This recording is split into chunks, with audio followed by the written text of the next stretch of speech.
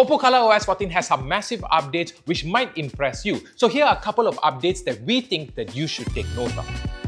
For those of you that love making stickers on WhatsApp, you're gonna love this feature because you can just tap and hold on a certain object in an image and crop it out to turn it into a sticker.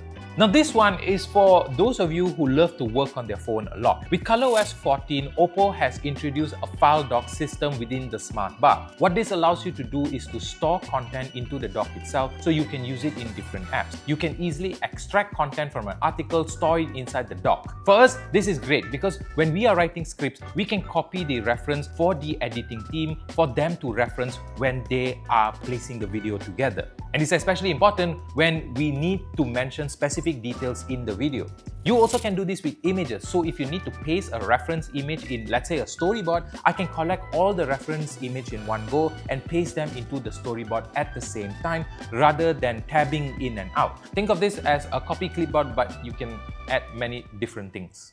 Aqua Dynamics is Oppo's take on Apple's Dynamic Island. Rather than swiping down from the notification drawers to let's say stop your audio recording and such, you could just tap on the small icons at the top of the phone and it will expand into larger capsules for you to, let's just say, in this case, pause or stop the recording. Now, obviously, this feature doesn't just pause or play your recording. In fact, it can give you more information on your daily life. So for example, let's say you're flying somewhere, this notification will come out at the top and will tell you basically where you're flying from and to and when will you be expected to arrive.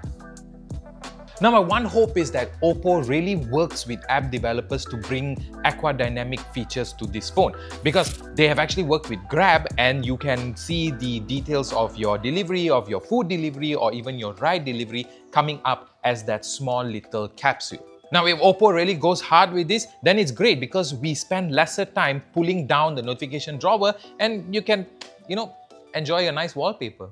Now, sound has been the biggest focus when it comes to ColorOS 14. In fact, Oppo has went out there and researched how and why users like certain sounds and then they collaborated with sound designing companies to create the rings and dings that you will hear in ColorOS 14. The sound is more in line with the aquamorphic design which is basically taken inspiration from flowing water and just water in general. So the sounds that it produces is not not very over the top and it's something that you can perhaps turn on while you're in the office and you will not distract anyone. Now, if you want to know how they sound like, here are some samples.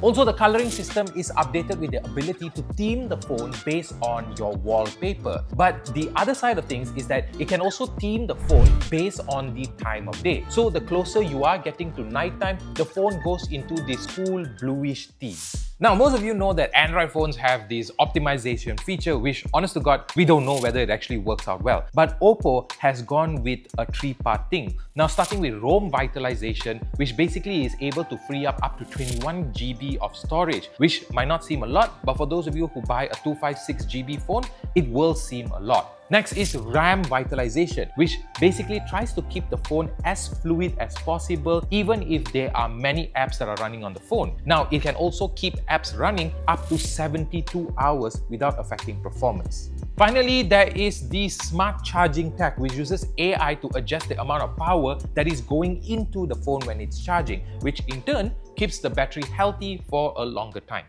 Okay, so let's talk about something that might sound a bit boring, but it's actually privacy. Now, there is a security feature which integrates with the privacy capabilities of Android 14, and it's a feature called Picture Keeper. It ensures that the app is not misusing permissions from your photos and your videos. I think it's safe to say that we all have pictures and videos on our phones that we don't want anyone else to see.